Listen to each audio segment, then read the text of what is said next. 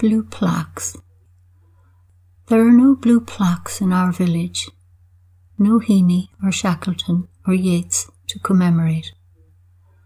A notable event is the starter motor going in Tom Barry's car, or a bellowing bullock lodged in a bog drain, or the milk lorry clipping one of the granite bridges and five fellas coming out from the council to inspect it.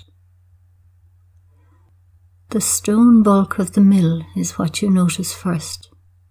At one time it was a tannery that reeked of rotting flesh. In another life, a whisky distillery and much more fragrant, until Father Mathew put an end to it. In 1965, it was where Frank Lynch had his oats rolled, but they didn't put up a blue plaque for that.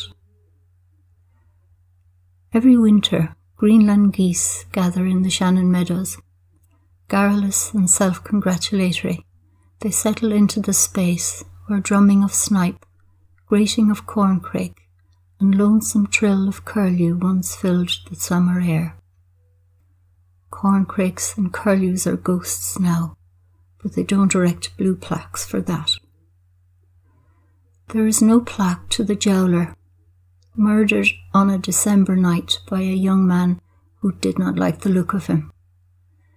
Given this young man's predilection for lighting fires in the middle of the road, it is assumed that his judgment was questionable. Judgments can be questioned, and worth is subjective.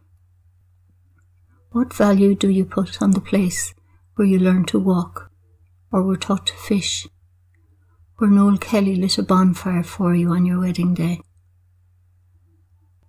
In this village, not noted for its noteworthiness, every memory is its own blue plaque.